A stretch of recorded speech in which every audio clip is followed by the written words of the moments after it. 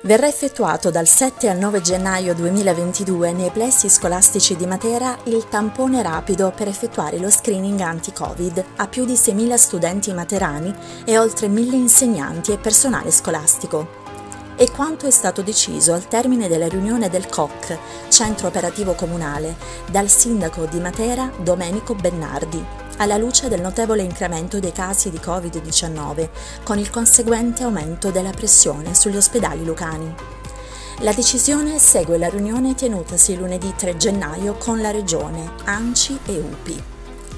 I dirigenti scolastici della città dei Sassi stanno mettendo a disposizione della macchina organizzativa uno spazio esterno di un plesso per ogni istituto per effettuare lo screening, la gestione degli elenchi, il supporto logistico a disposizione del personale sanitario e per i pediatri deputati ad effettuare i test rapidi.